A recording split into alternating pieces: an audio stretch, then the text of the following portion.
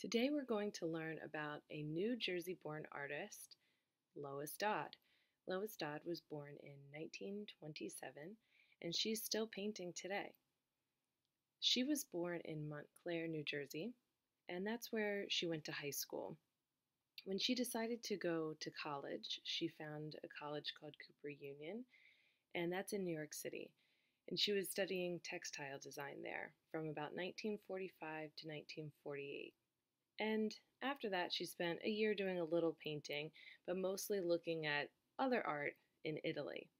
When she returned, she co founded an artist run space on 10th Street called Tanager Gallery. So co-founded mean that she she was working with other artists together to do this. And a lot of famous artists would visit there. So she was part of this art scene and that really helped her develop her own style and uh, make connections there. One of the connections she made was with an artist named Alex Katz.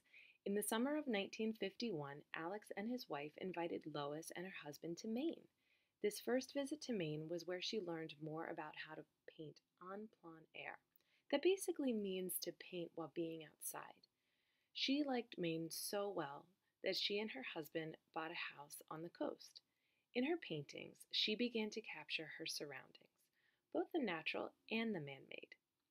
Here you see some of the natural things that she captured. Can you find the butterfly? Do you see the caterpillar and the two chrysalis? Those are things that she painted from observation, that en plein air style. Here are more of Lois's paintings that she's done outside, that en plein air style. When she works, she looks for geometric shapes. So at the top left, that's a plant called sourgrass. If you look at the leaves, you can see that they have a shape to them. It almost looks like a heart shape. Also, if you look at the right side, those two white kind of blobs, they're actually spider webs over the grass. So they don't really look exactly like a photograph. She was really capturing that shape. And at the bottom left, that's called sunlight on grass. So she was really just capturing the shapes that the sun was making on the grass and then adding what looks like the grass blades, which creates some texture. I'm sure many of you have taken a dandelion when it turns into the seeds and you've made a wish on those wish flowers. So that's what's right in the middle. One of the neat things about this painting is that she's captured it at a different time of day where it's a little darker so you're not seeing um, the typical green stem. So there's some purple in here and some darker background. So it's a neat way to do it. And remember to look for all of the geometric shapes that you can see here. There's some circles and some stars.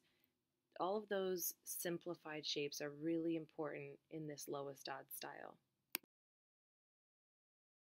If you go to the More Resources page on my website, you can actually find an interview being done with Lois and you can watch her paint this painting. So I wanted to show you um, what the flower looks like originally, and that's that the top left, that big purple flower, and then you can see the seed capsules in the bottom left, and then as it dries out. And she brought it inside to her studio, and then she started to paint it. So it's really neat to kind of see where it started and then what she's painting. And if you can check out the video, it's always awesome to see an artist at work. One of the art shows that Lois had was called Catching the Light. And the reason why it was called Catching the Light is because that's what she does in her work. She looks for the ways that the light interacts with the object and how it creates those geometric shapes with the shadows and with the light. So that's what I want you to do. I want you to see where the light catches you. If it's on flowers, that's great. Just look for those shapes and the light. Now, Lois Dodd has not always just lived in Maine. I mentioned that she was born in New Jersey and that she went to school in New York City. Well, those are two places that she still loves. So she still lives in New York City and Maine, and she also lives in Blairstown, New Jersey. So in her paintings, you're going to see those places represented. She's not just a flower painter. She's actually not really famous for her flowers. She's really famous for the way that she shows those shapes and that light.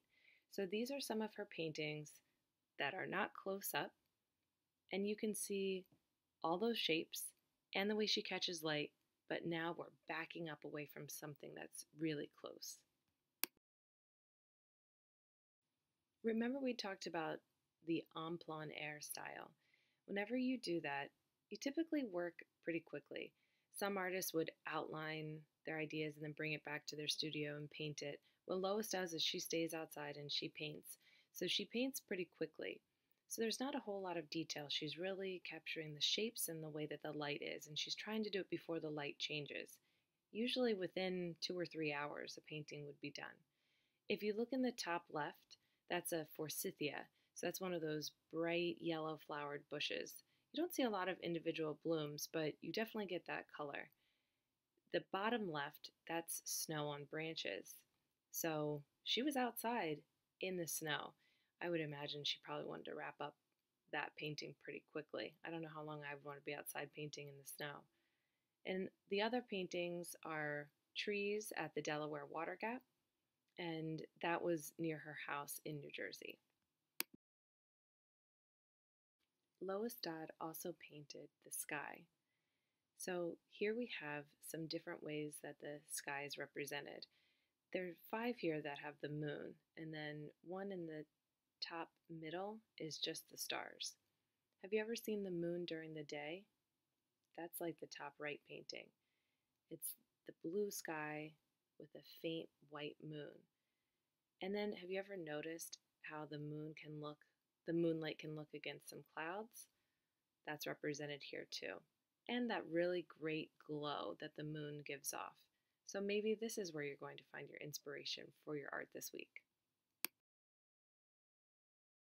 Here's another one of her moon paintings, but also moving from the moon and just looking at the way that she paints the clouds. If you see, she finds those shapes and she finds the way that the colors work with those shapes at a certain time of the day. Maybe you've laid on your back and you've watched the clouds in the sky and you've seen the way that the sun outlines around them. Or maybe you've tried to find shapes in the clouds, like a dog or something like a heart or something like that. You could do that for your Lois Dodd inspired artwork. One theme that Lois did was windows. And you're going to see that there's different ways that she did these windows. So if we look all the way to the left, that's a window on the inside of a house with bold curtains, and you can see the entire window. If we move over one, you can see rain on a window, and you can see the curtains, but you don't see all the curtains like where the red curtains are. And keep moving over to the right, and you can see a window at night. See the moon in the window? and you can see all those purple colors. And then if we go all the way to the right, that's actually a shadow of a window against a brick wall. So right now, you might be at home and you might be looking through your windows or through your doors, and I want you to start to notice the shapes that you see and the different times of day, the way that the light impacts your house or outside or curtains or the colors. So just start noticing those things. The way Lois frames her art is really important. So sometimes you might see the whole window, sometimes you might see just a small part. Sometimes you might see what's on the windowsill, or you're focusing more on what's outside of the window, or like all the way to the right, you might be focusing on the steam on the glass panes. Here are four more artworks that Lois did involving windows. I'm sure you can see that the two on the left look more like that New York City style. You can see those buildings on the outside. The two on the right are a little different. You can see the one with the curtain. It's at an angle, so we're not looking straight on at the window. It's a little bit different. And the one all the way to the right, that's actually the way that the frost looked on one of the glass panes on a window that she was looking at. Maybe you've seen frost like that. You can notice those patterns.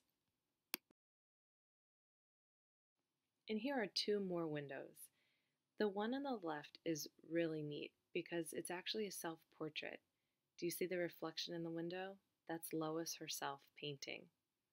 So she's painting a reflection and she's keeping with that theme of the windows, but it's also a self portrait. Maybe that's something you'd be interested in doing. And if you look on the right side, this is a painting that she did of one of um, a building at her son's property, and she's looking at the window. You can see the reflections on the window, but you're looking through this building to another window on the other side. So this is actually a painting of two windows in one. Take a look at these two Lois Dodd paintings. The one on the left is of the cows. You can kind of see that the shapes on the cows are very similar to the shapes in the clouds. There's not a lot of detail, pretty flat, a lot of shape, and a lot of catching that light. And if you look at the right, similar thing with the moose, there's not a lot of detail. We're capturing shapes and the light, keeping it simple, but you can still tell that it's a moose. So maybe you'd like to paint or draw one of your animals at home, or maybe go outside and find one. Lois lives in New York City, so she definitely has to put the Statue of Liberty in her paintings. You can see on all the way to the left, there's a painting of the Statue of Liberty at night because you can see the crescent moon up there. All the way to the right, you can see that this is a Statue of Liberty painting more during the day. And this painting is very blue, it's not quite as green. And right in the middle, kind of funny, she made the Statue of Liberty painting. Hmm, wonder if that's representing herself a little bit, a New Yorker painting. Here's a photograph of Lois working in her studio in Maine. You can see some of the smaller paintings leaning against the walls. Those would be the panels that she brings out with her to do those quick paintings in that en plein air style. The one in front of her is going to take her a little bit more time because it's a lot larger. I hope you've enjoyed learning about Lois Dodd. Kind of neat to learn about a New Jersey artist and an artist that's still living today. I'm really excited to see where this takes you. And I want you to enjoy, and as always, stay creative.